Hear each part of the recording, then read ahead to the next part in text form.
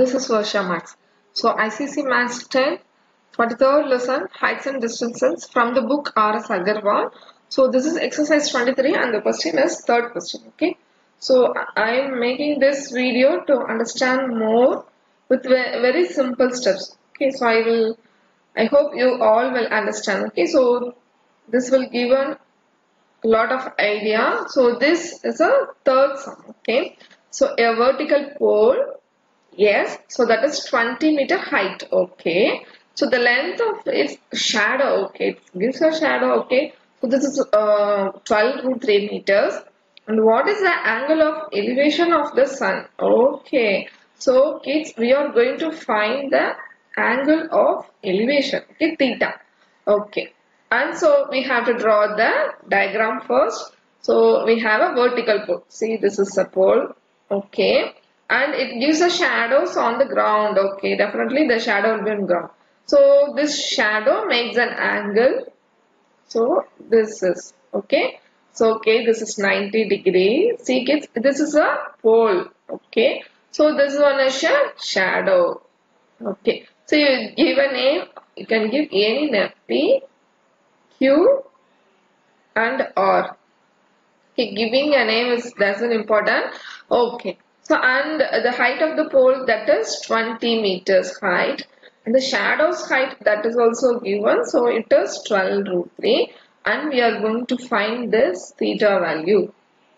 Okay students. See if you find sine theta what do we get? Sine theta means we get this is opposite side. So that is PQ by PR uh, means opposite side by hypotenuse.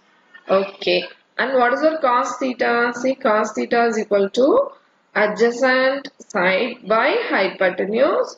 So what is the adjacent of this theta? So that is QR. Okay. So QR divided by hypotenuse that is PR. Okay. And what is tan theta? So tan theta equal to opposite side by adjacent.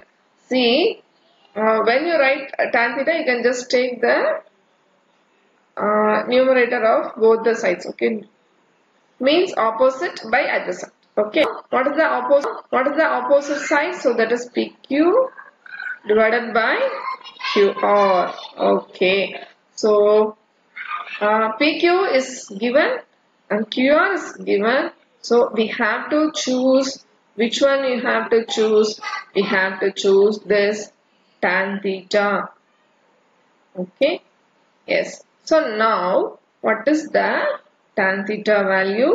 So PQ is 12 meters and QR is 12 root 3 meters. Okay students. You just cancel. This is multiplication. So we get 1 by root 3. So when the theta will be 1 by root 3? Yes, it is tan 30 degree. So theta will be 30 degree.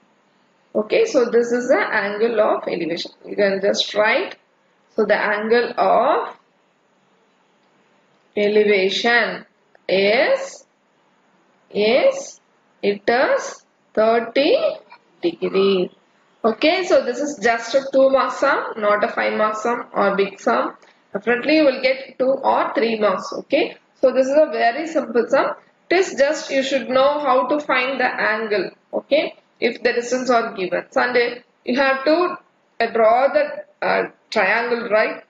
And cos theta, sin theta and tan theta. Which theta is suitable for the sum. So this is tan theta is a suitable uh, ratio. Because here the PQ and QR distance is given. Okay. So this distance is PQ and this is SQR. So what is given? So both are given. So we have to choose the tan theta. Okay, I hope you understand the problem. So in the next videos, I will see uh, do the fourth problem. Okay, I hope you understand. Thank you students.